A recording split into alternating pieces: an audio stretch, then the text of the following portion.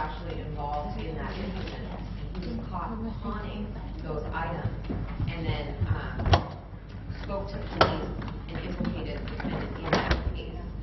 Um, when asked about why this armed robbery happened, um, the victim in that case suggested that there were issues between them based on that open case that the defendant passed.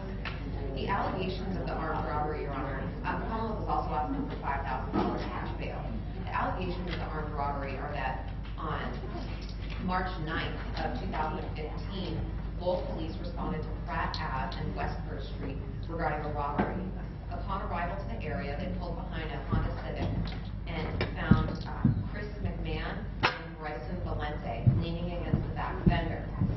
As they exited their cruiser, they could see that McMahon was very upset and nervous while attending to his friend, Bryson Bryson Valente. While standing in front of Valente, they could see blood streaming down his face from what appeared to be a broken nose. They immediately called for an ambulance to come to the scene um, and then continued to investigate.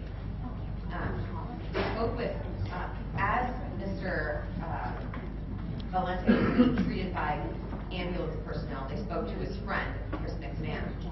Um, Just minutes prior to their arrival, he stated robbed by individuals that were in the area of Pratt Ave and West First Street. He stated that the perpetrators were on foot and had fled the area prior to, uh, prior to the police arrival.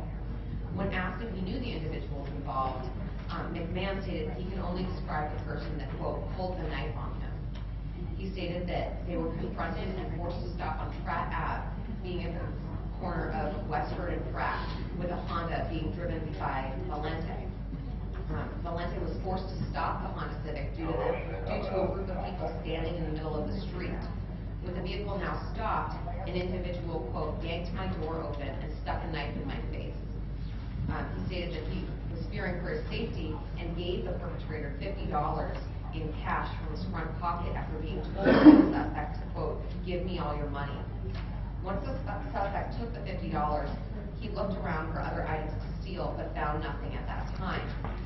When asked what happened to his friend, Bryson Valente, who was being treated by ambulance personnel, he stated that he was, quote, punched in the face, and they took his backpack with stuff in it. When asked to describe the knife used by the suspect, um, Mr. McMahon stated that the knife was an orange, had an orange handle with a blade on, uh, several inches in length. Also, he described the suspect as being a dark-colored male, late teens to early twenties, average build, approximately six feet, and dark hair.